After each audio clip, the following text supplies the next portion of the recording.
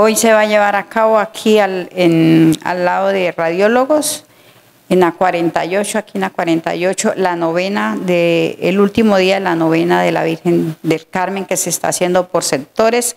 Entonces invitamos a toda la ciudadanía que nos quieran acompañar a la, a la Santa Misa, a esta novena hoy, que es el último día de, de la novena. Ya mañana es el día de la celebración de la fiesta de la Santísima Virgen del Carmen.